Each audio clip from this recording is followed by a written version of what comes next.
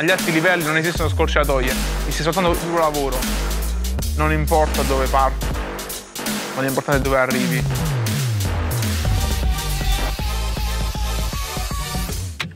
Mi chiamo Donato Telesca, ho 22 anni e vengo dall'Italia.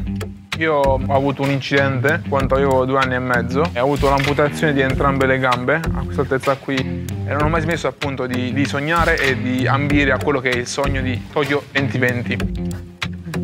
Il top. Quando ho iniziato, una delle prime cose che mi sono chiesto era qual era il record del mondo. Ok, va benissimo, io non sono lì, voglio arrivarci.